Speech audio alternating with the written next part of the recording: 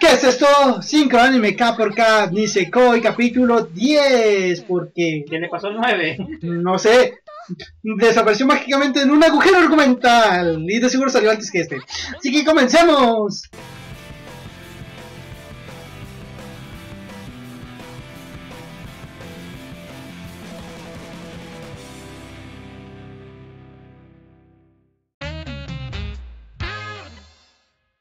Sí, es que salió el otro video en el campamento. Y con la escena donde nos quedamos anteriormente. De me voy a ser tonto, tú te vas a hacer tonto. Sí, yo sé que me ves en la espalda, pero nos vamos a hacer tontos. Al siguiente día, Ichiyo no puede ver a nadie. Porque sufre ese síndrome de, oh por Dios, ya la vi desnuda. Y solo cada vez que la veo, recuerdo haberla visto desnuda. Tanto a Kirisaki como a Onodera. Y el amigo de Ichiyo le dice, pero no te preocupes, esta noche es tu gran oportunidad. Habrá una prueba de coraje donde se seleccionan chico y chica y no importa qué pase, los dos se tienen que tomar de la mano.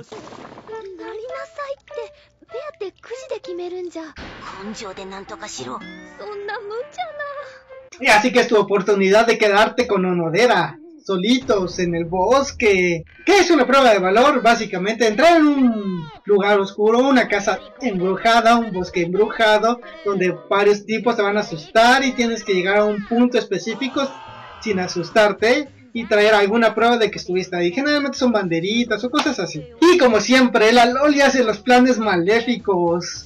Si de Onodera debes quedarte con Ichiyo y, y prácticamente dice y insinuártele en la mitad de la noche en mitad de un bosque. Por suerte ya en la noche cuando vemos todos los preparativos que se hacen y que todo el mundo empieza a sacar su numerito de con quién se va a quedar. Vemos como Onodera saca el número 12 y la Loli empieza a gritar ¡Ay, Onodera, sacaste el número 12! へえ小崎は12番だったんだ小崎は12番小崎は12番お前らは12番なんだよし12番来い Así que Ichiyo ya sabe qué número sacar. Por sorprendente que parezca, sí saca el número 12. Y yo... ¡Ah, escenas de emoción!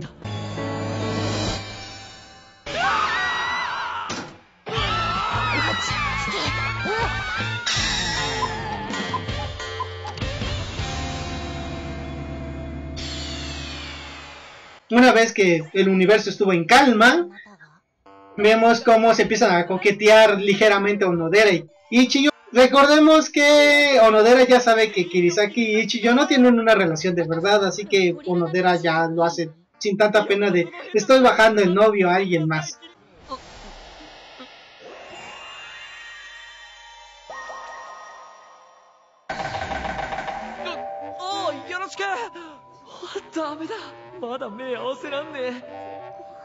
Bien, esto los profesores que iban a ser los monstruos, hasta un hombre lobo y ahí enfermo del estómago, mm, le piden a Kirisaki que sea una chica fantasma porque el hombre lobo se enfermó.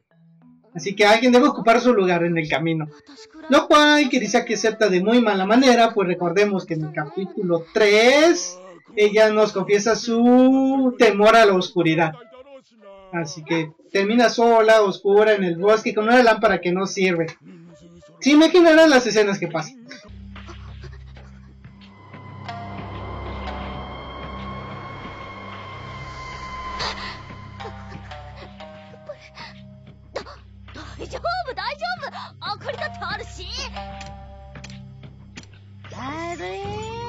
Ya Ichiyo todo penado, por fin toma la mano de Onodera y ve como Onodera también está toda nerviosa.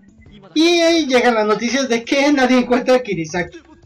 Pero dicen, ah, es Kirisaki, ¿quién se preocupa? El bosque no es demasiado extenso, ella se sabe defender sola. Además, no hay criaturas salvajes. Así que, mm, ¿qué hace Ichiyo? Pues ser el valiente del episodio. Deja a Onodera, dice, ahorita vuelvo, y sale corriendo tras Kirisaki 悪い小野寺すぐ戻るからえ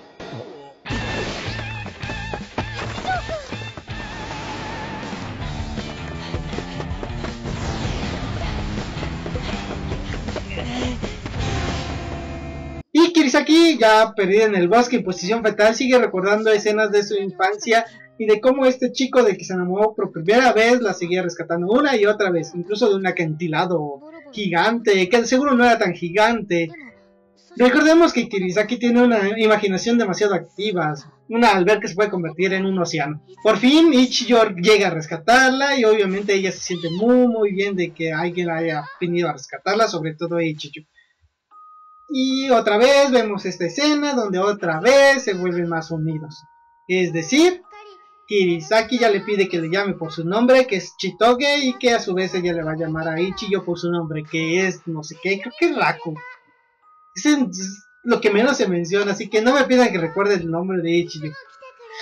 Recordemos que para Japón llamarse por sus nombres y es algo serio. Ya después de esto, eh, Ichiyo y Kirisaki se pierden, así que no regresa tiempo para pasar el tiempo con Onodera. Se siente muy triste, aunque Onodera ya sabemos que es todo amor, así que lo perdona y no se siente nada mal.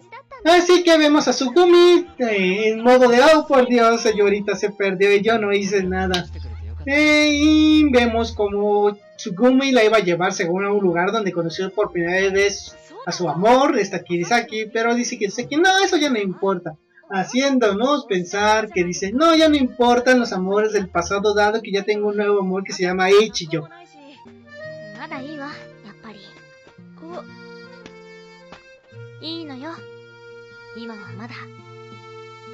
Claro que no lo dirá porque si no este manga no podría durar años y años. Eso es todo lo que pasó en el capítulo 10 de Nisekoi. Ya llevamos la mitad de la serie, recuerden van a ser 20 episodios, así que solo habrá 10 episodios más sobre esto. Que, que si voy a volver este año. Que si voy a volver cuando vuelva Nisekoi, quién sabe. Tal vez ya esté en otro planeta. Nos vemos la siguiente semana. Mátane y recuerden si van a ir a un bosque oscuro eh, disfrazados de fantasmas, por lo menos póngale pilas a la lámpara.